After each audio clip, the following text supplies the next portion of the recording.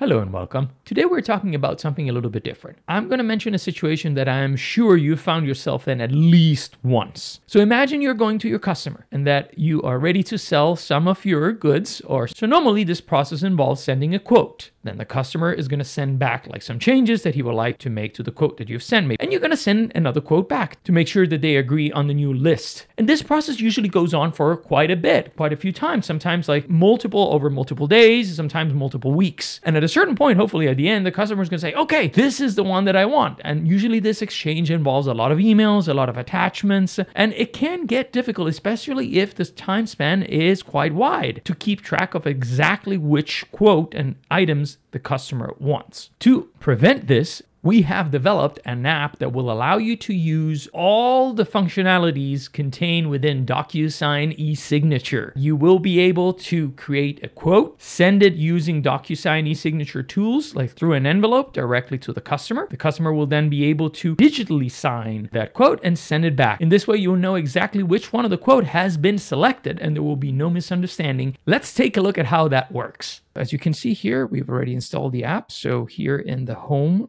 menu. We already have our DocuSign menu. So the moment we click on send quote with DocuSign, we will be presented with this dialog. In this case, let's go ahead and send it right away. So we are ready to go. And after a few moments, has been sent successfully. And I can hear that my email has arrived.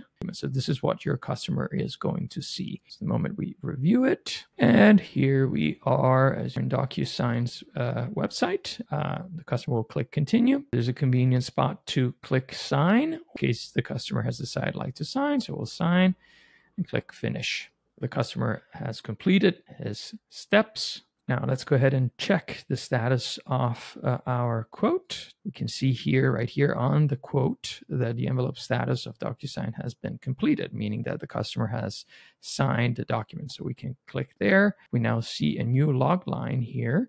And as you can see, when I'm standing on this log line, I can download the file now that the customer has signed. This will generate PDF.